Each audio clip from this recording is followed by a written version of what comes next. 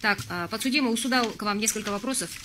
При выяснении позиции в ходе главного судебного разбирательства после предъявления обвинения, после предъявления обвинения а, позицию вы указали, что вину не признаете полностью. Сейчас, после допроса сторонами, стороной обвинения, стороной защиты, потерпевшими, подсудимый, уточните еще раз свою позицию. По эпизоду истязания до настоящего времени позиция у вас не изменилась? Я не признаю вину, я никогда не истязался. Вот она в том виде вот Так, по второму эпизоду, а, по эпизоду убийства, несмотря на то, что в зале судебного заседания была просмотрена запись, несмотря на то, что были уже часть материалов дела исследованы, допрошены, часть свидетелей, позиция у вас остается такая же? Я виноват, я всегда, я вот и на этой... Разрешите мне чуть расширенно ответить, Ваша честь, потому что это вот... Я виноват в том, что в ее смерти. Я чувствую это чувство вины. Я хочу сказать, что я... Если бы я задумал... Подсудимый, одну минуту. Э. Уже вот на протяжении трех заседаний я вот слушаю, как вы вот это все рассказываете с эмоциями, со всеми а, подробностями. Уже больше, а, знаете, повторения нет необходимости. Уточните конкретно свою позицию. Я поставила прямой вопрос. Вину по предъявленному обвинению в совершении убийства, особо тяжкого убийства с особой жестокостью признаете или нет? И в какой части, если признаете, и если нет, то дальше уже позиция. Я не признаю вину в умышленном убийстве с особой жестокостью. Но в том, что в ее смерти есть моя вина, я в этом, я это признаю. Мои действия причинили, вызвали ее смерть, причинили ее смерть. Я глубоко раскаиваюсь, испытываю чувство вины, поэтому я... Но, но чтобы я хотел ее убить умышленно, с особой жестокостью, не знаю, истязал ее, ну это, это просто...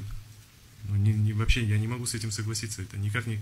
Да, побил, да, нанес побои, но не с целью причинить ей смерть. И вообще не думал, что вот, ну, такой, такие последствия будут.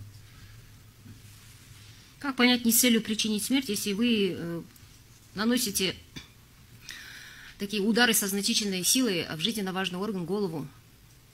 Уважаемый суд, позвольте мне обратить внимание суда присяжных о том, что... Защитник, вопрос, а, вопросы да, к подсудимому не завершились. Я в порядке УПК имею право возразить на действия председательствующего. Позвольте мне высказать возражение. После, возражение. после По того, вашему как вопросу. подсудимый ответит, потом суд предоставит вам По возможность. вашему вопросу, чтобы по горячим Прошу следам. садиться. Как подсудимый ответит, потом выскажите свои, э, свои возражения. Прошу подсудимый. Я наносил ей удары по лицу, я признаю, нанес побой, но у меня не было мысли, я не считал, что вот э, пощечина или может причинить смерть. да. Я вот ну, просто, ну вообще не было такой мысли у меня, что в результате этого она может, у нее может вот произойти черепно-мозговая травма и так далее. Вы видели на этом видео даже, Ваша честь, что ну, как бы вот она падает, да, стоит у моих ног, я не наношу ей удары ногами, лежит, упала у моих ног, я не наношу ей удары ногами. А вы уже это рассказывали неоднократно. Позиция понятна. Прошу садиться. Прошу, защитник. Уважаемый суд, вы задали сейчас только что вопрос подсудимому, да? Как вы не признаете причинение смерти, если вы с такой силой наносили удары в жизненно важные органы в голову? Ну, насколько я помню, и насколько мы все заметили, у нас подсудимый не признает вот это действие, что он наносил удары в голову с такой силой в жизненно важный орган, голова. Он говорит, что только бил пощечину, как это видно на видео, и ногой нанес удар по ягодице. Это не голова и не жизненно важный орган. Поэтому ваш вопрос уже заранее содержит э, информацию, которая является предубеждением для присяжных. В связи с этим я вынужден э, выразить свое возражение на ваш вопрос, на формулировку. Спасибо.